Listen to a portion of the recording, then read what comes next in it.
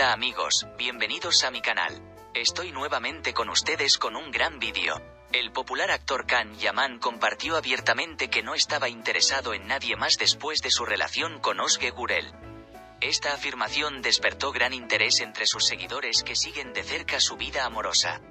Kan Yaman afirmó lo siguiente en una sincera entrevista. No estaba interesado en nadie después de Osge Gurel. El vínculo entre nosotros es especial y único. Estas palabras conmovieron a muchos seguidores que estaban esperando conocer sus sentimientos después de su relación con Osge Gurel. La declaración de Kan Yaman de que no tenía ningún interés romántico en otras personas después de Osge Gurel generó un intenso debate. En las redes sociales, muchos de ellos expresaron su honestidad.